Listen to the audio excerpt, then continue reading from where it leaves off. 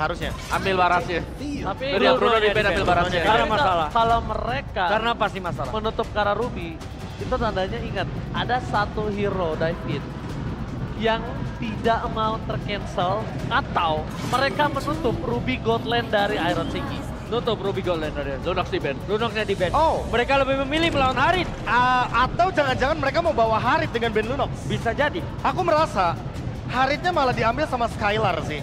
Oke. Ini akan memungkinkan sekali mengingat dengan kehadiran dari Chow, Angela Ling, Purify. ini Purify combo harusnya bakal diambil. Tapi Haritnya diambil. deny dulu di Iya. Haritnya. Oke.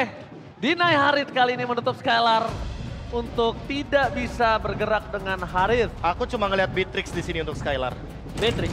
Beatrix, plus Barat mungkin. Beatrix, Barat. Barat. Oke. kayak yang kemarin. Aku suka ada cloud sih, aku pengen lihat cloudnya Skyler. Aku juga Cloud sih. Iya. Cloud oke sih. Bisa Om. ini yang cloud. Barat ini dia. Barat Ih, Fix ya. iya. Dengan. Matilda. Tapi Dengan Matilda. tapi Link bisa ke, ke belakang loh. Wah riskan Wah. banget trapnya. Tapi ada Faramis.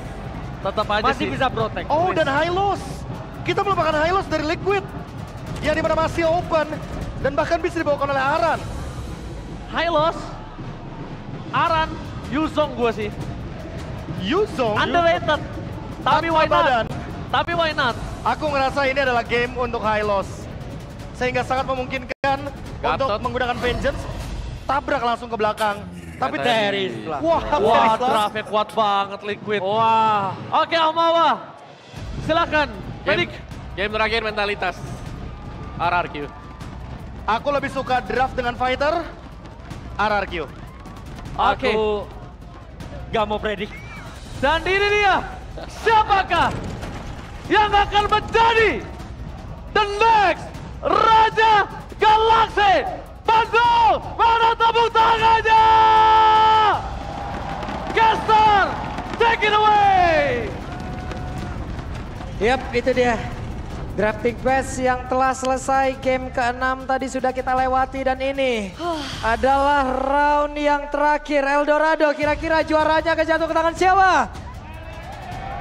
Akan jatuh ke tangan siapa? Sekali lagi akan jatuh ke tangan siapa? Kalau begitu, terakhir di malam hari ini. Eldorado, mana suaranya? Match point untuk kedua belah tim sekarang. Posisi imbang dan sekarang Sutsujin sudah mulai back to basic dengan Alpha yang digunakan tapi berhadapan dengan Fabian. Ling yang juga membawa kemenangan tadi di game yang ke-6 bersama dengan Angela dari Yeheskiel. Ini akan beradu adanya fight jangka panjang dan kembali Rins akan bisa membuyarkan hal tersebut dengan Paramis yang telah digunakan. Yep, tetap dengan metode mungkin dari magical damage-nya akan diberikan ke area dari gold-nya. Dan Shiki kehilangan sangat banyak HP di dalam tubuhnya. Oke, masih cukup terbilang aman ya walaupun memang HP-nya udah low banget juga. Sementara set talent emblemnya, tapi Skylar Coba lihat ada gangguan dari Widi untuk bisa membuat Skylar mungkin akan bergerak jauh lebih mundur. karena memang kayaknya Skylar pede banget sih untuk uh, adu pukul karena ada tenacity juga yang terselip ya di dalam tubuh dari Skylar.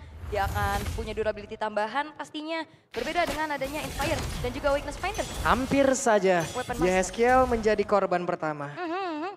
Nah ini Weapon Master yang dipakai juga nih sama Harit dari Iron Chiki yang harus membuat dia lebih agresif tapi Fabian. Fabian tadi mencoba untuk bisa mengantarkan damage-nya. Hanya saja sekarang Fabian kembali Oh. hadir. Dan sekarang Pangkor Oh. kembali tercipta bahkan dua player. Hilang di bawah menit dua. Belum ada Netherrealm, tidak ada Guiding Wind. Tapi ada game fact by GoPay. Fabian dengan linknya di game ke-6 menjadi player dengan farming tercepat kedua di MPLI di season 14 dengan mencapai level 15 di menit 9.06. Di bawah Sutsujin dengan Alpha di 8 menit 57 detik. Yep. Dan Turtle akan menjadi milik siapa? Ada penalti saja masuk tapi Turtle dia menjadi milik Desut Sujin pertempuran terjadi Arannya tertinggal sendirian Arannya ditinggalkan begitu saja dengan Idol yang sudah diaktifkan dan sekarang ada Turtle Welcome yang berhasil menelan tadi ke arah dari Eskiel terlalu riskan tadi pergerakan yang dimiliki oleh tim Liquid ID Karena kebetulan Fabiana juga belum siap nih untuk kontes ke arah turtle-nya. Dia masih sibuk di area purple buff dan full barat. Oke, dan Iron Shiki harus keluar dari satu full barat dan Didok. Mendapat kegangguan dari Widi. Wait, ini Skylar juga flicker loh masalahnya. Dan juga ngelihat dari Iron Shiki ini nggak ke-trigger dari resource spellnya. Bisa dikatakan harusnya untuk pertukaran yang terjadi tadi di area top lane, walaupun belum ada yang tumbang. Tapi RRQ udah mulai buang resource kali ini tanpa ada satupun hal yang bisa didapatkan. Sementara kalau ngelihat lagi nih dari segi item ya, ada Swift Crossbow yang menjadi satu buah modal tech dari Skylar. Tertarik Fabian ya, masih ada satu pin poise pergi lagi ke tempat yang berbeda. Alright, masih cukup aman tapi ada Tyrant. Ini bener-bener nempelin Aran terus-terusan juga. Ya, berdua aja udah ini mah di bawah nih. Nyam- terus. Nempel terus ke Cakwe ya. Cakwe sore udah lengket kan. Udah lemes ya. Oke. Tapi Widi belum kelihatan nih bagaimana power inisiasi dari dirinya. Karena terlihat juga nih ada dua Purify yang dimiliki oleh RRQ Hoshi. Minimal ada yang trigger dulu lah. satu. Yap, dan Rins benar-benar diganggu. Tapi barusan Spear apanya kembali tidak kena.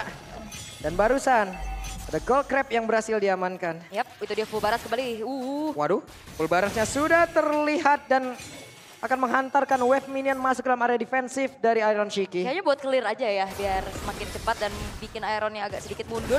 Tapi invade karena purple buff sekarang sudah mulai dilakukan oleh Suku Jin. Yap, itu dia ada Spiro apa yang tadi langsung dikeluarkan tapi sekarang Oh. purple buff-nya berhasil diamankan bahkan penalty zone yang masuk tapi ini dia ada ram. Maka di tempat tersebut ada satu pergerakan lewat dan terus mereka mudah langsung menelan ke arah satu player di mana sekarang. Oh. Ada pergerakan Iron Shiki dan mereka berhasil untuk bisa mengamankan Oh. karena beberapa player tapi ternyata malah berhasil dibalaskan dan Rizata tinggal sendirian. Empat player menjadi korban di dalam satu inisiasi tersebut. Dan ternyata Netherrealm belum menjadi jawaban untuk bisa menyelamatkan rekan-rekan RRQ Hoshi. Dan akhirnya purple buff yang bisa diambil oleh Fabian membuat akhirnya pun di follow up dengan turtle yang bisa didapatkan. Keunggulan kali ini dimiliki oleh tim Liquid ID dengan 1600 net worth yang diunggulkan. Kembali Widi akan mencari informasi nih. Wow. Satu kombinasi 100% win rate.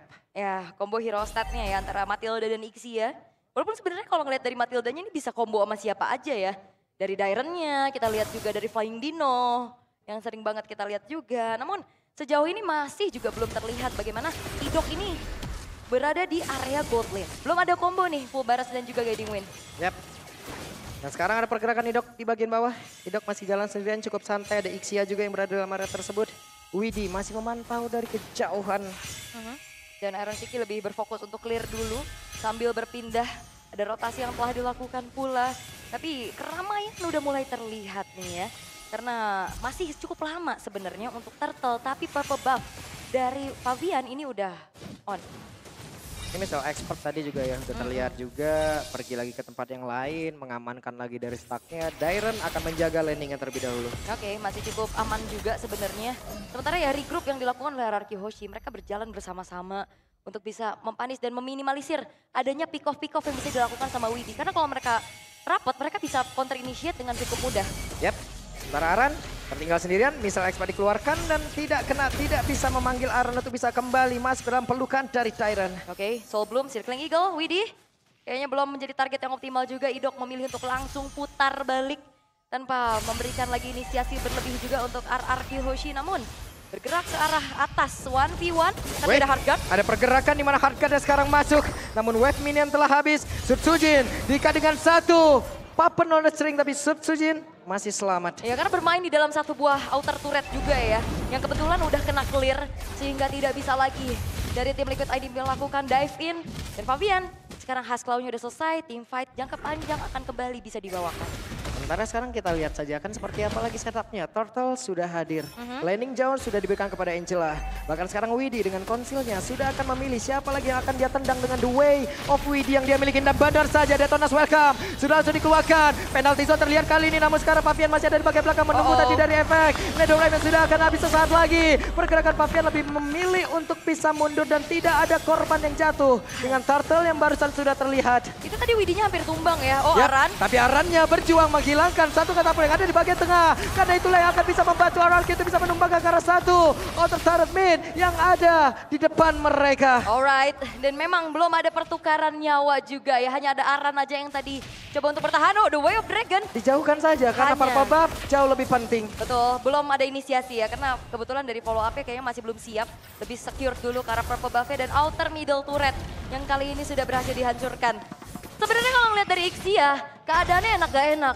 Karena dia berhadapan dengan adanya Link. Fabian yang bisa jump ke arah Chow juga backline. bisa gitu loh. Chow juga bisa, tapi kayaknya Joe masih jauh banget ya. Cuman kayaknya potensi yang paling gede itu di Fabian. Yep. Cuman dari tadi so far masih aman-aman aja.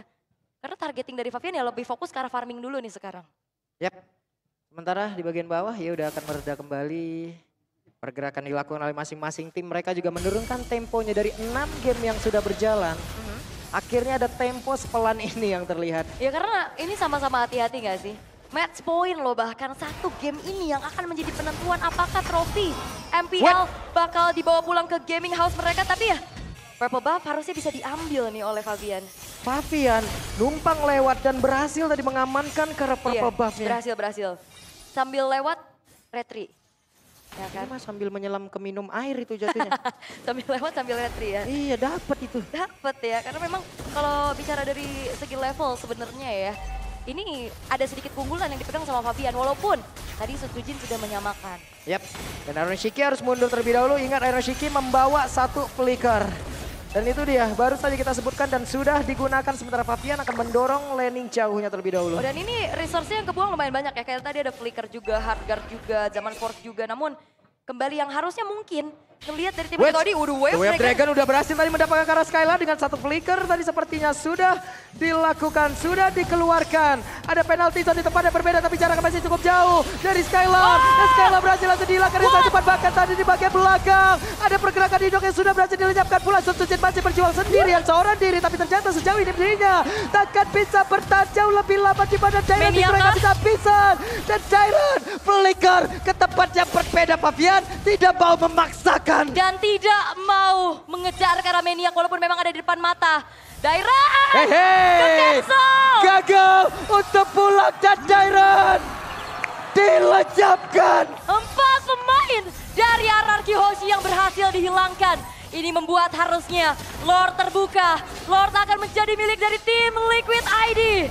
Tanpa adanya kontes, tanpa adanya satupun yang bisa mengintip ke area dari Lord tersebut. Oke. Tapi kalau ngelihat dari Pesager, kayaknya mereka mencoba untuk, ayo tone down, tone down, jangan terbawa tenang, emosi. tenang, relax, tenang, tarik nafas dalam-dalam yuk, keluarin lagi pelan-pelan. Oke. Nah ini Diva juga harus tarik nafas sih sedikit ya. Pak, sabar, relax. Ya Ada Wan dan juga. Gaby. Ah, ah. Aduh. Dunia akhirat iri gua nih emang bener dah. Eh, siapa bocil Gaby Wan? Aku. Wan, eh, pikirin perasaan gua, Wan. Lah Ya, kenapa il- harus pikirin perasaan lo? Eh, sama siapa di sini? Nah. Loh, langsung ke sini kameranya Iya ya. bisa gitu loh. Iya. Iya. Pas banget ini. Oke, tapi sekarang dari tim Liquid ID yang lagi memegang kendali. Yap. Dia akan memberikan pressure. Oke, ada satu tembak obrolan. Oh, What? oh, oh. Skylar jadi luar dari satu Dino Ram yang sudah diaktifkan. Oh. Bahkan tadi ada The Way of Video udah dikeluarkan pula. Di mana sekarang Risa berhasil untuk dihilangkan tapi Papiaja kehilangan Jawa yang dia punya dan Tyron kembali menjadi korban. Oke, tiga pemain yang hilang dari RRQ Hoshi. Tidak ada serangan lanjutan dari tim Liquid ID. Mereka akan berfokus terlebih dahulu untuk membiarkan Lordnya di arah atas. Karena inner turret di arah tengah akan segera dihancurkan dan Yeskiel sekarang sudah punya fleeting time. Itu yang akan ngebuat nantinya fight akan jauh lebih panjang, akan jauh lebih siap untuk di backup oleh Yeskiel. Yap. Hanya satu langkah lagi tadi dari Skylar untuk bisa masuk dalam The Ram. Tapi ternyata Aha. tidak ada waktu yang diberikan oleh pemain dari Liquid. Oke, masih kembali turun temponya. Emang lagi keadaannya unggul, tapi jangan lupakan. Ini bakal menjadi momen-momen yang krusial. Karena satu, dua mistake ini akan bisa dipunish, akan bisa dimanfaat. Oh, oke, saya salah fokus. Yap. Oh gitu. Oke, Heeh, baiklah. baiklah. Gak apa-apa kan Onyx. Ya kan, gak apa-apa. Fanatik Onyx. Iya kan. Kenapa sih? Apa sih? Menunggu lagi nih 50 detik menuju ke arah Lord yang akan muncul. Apalagi ini adalah Lord yang sudah ter-enhance. Dan kalau ngelihat dari potensi untuk team fight-nya lagi nih, RRQ benar-benar dependen sama Skylar-nya. Positioning dia emang udah bagus. Tapi itu dia apakah menjadi jawaban untuk Ixia? Karena yang dihadapi adalah Link. Yap. Sesosok assassin yang bahkan bermainnya bukan front to back. Yap. Mainnya udah langsung aja jump ke arah backline. Di mana tadi Widi juga di saat dengan ada Tempest of yang udah dikeluarkan, fokus udah mulai terpencar, Widi akan masuk dengan sangat-sangat nikmat apabila bukan Widi yang menjadi openernya. Mhm. Karena tadi juga ini openernya bergantian ya. Kadang Link, kadang Widi. Kita lihat ya kan seperti apa lagi nextnya. Dan juga jangan lupakan ya, Wait, oh hampir ya. sabar. Kalau jatuh aja tadi itu. Di final upper bracket kemarin, kebetulan RRQ hanya kalah dua game oleh tim Liquid ID dengan Chow dari Widi. Apakah itu akan terulang kembali dan menjadi pembalasan yang manis untuk tim Liquid ID karena mereka empat Nah. kali, empat match berturut-turut dikalahkan oleh RRQ Hoshi. Harap-harap cemas dari semua fans yang ada di Eldorado dan Rins. Tahuan posisinya ada Idok di bagian belakang, Jairan. Mencoba untuk bisa Widi. maju ke area terdepan. Tapi depannya berbeda, Widi. Waduh. Membuat Skylar tidak bisa mendekat ke arah rekan-rekannya. Dan Lord harusnya akan menjadi milik dari tim Liquid ID karena Sun Sujin. Benar-benar ke-trigger untuk bisa mengejar ke arah Widi. Ini Widi gak apa-ngapain, dia cuma konsil aja di sebelah Skylar, bikin overthinking. Sampai akhirnya tidak ada kontes oleh RRQ, dan Lord bisa didapatkan oleh tim Liquid ID sekarang. Yap, dan Skylar sekarang udah memiliki satu orange buff. Tidak hanya dia pun bisa menambahkan lagi ya. Pertahanan dari RRQ sih. Oke, dan Lordnya akan muncul sesaat lagi. Di detik 43, Lord muncul di arah top lane. Sementara dengan harap-harapan dari semua super fans yang ada. Yep. Cavalry, Kingdom, satu push yang akan dilakukan oleh tim Liquid ID. Akankah menjadi akhir untuk series ini? Satu Lord bergerak di atas cukup pelan. Wave minion ditahan tengah dan bawah. Mungkin sesaat lagi akan masuk terlebih dahulu. Tapi ada missile export tadi udah dikeluarkan pula. Hilang di area mid. Dan Dairennya masih dengan stack yang penuh. Oke, minimal kayaknya base turret di top harusnya bisa dihancurin ya. Atau benar-benar harus ditahan dulu nih sama RRQ. Karena kalau bicara tentang power high ground, harusnya Ixia ini bisa jadi jawaban Iya. untuk bisa clear cepet. Tapi hanya di satu sisi. Betul, itu dia. Dan. Lordnya masih siap loh. Itu dia. Fabian di bagian belakang ada penalty shot yang kena. Tempest of pun tadi sudah terlihat bahkan dari Ram sudah keluar. Skylar-nya masih menahan di bagian belakang. Lord-nya masuk tapi base-nya coba lihat. Mereka berfokus. The Team Liquid ID. Wow! Mereka lah yang menjadi Raja Galaksi. Di tanah Pasundan, mereka membuktikan bahwa regenerasi yang menjadi kunci milik tim Liquid tadi.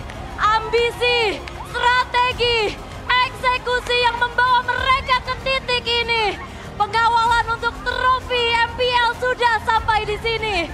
Tinggal kita titip gelar bergengsi. Dibawa pulang kembali ke bumi pertiwi. Dan sambutlah sang jawara baru di MPL Indonesia Season 14. Please welcome tim Liquid ID. Ini dia. Perjalanan yang begitu panjang telah mereka lakukan. Satu langkah lagi bagi RRQ. Mereka bisa menutup musim ini menjadi Raja Galaksi. Tapi ternyata tim yang bertabur dengan rookie. Tim yang bertabur dengan eksekusi. Dikaptenin oleh Widi.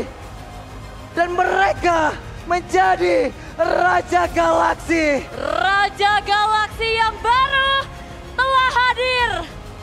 Walaupun terseok-seok di regular season minggu pertama mereka babak belur.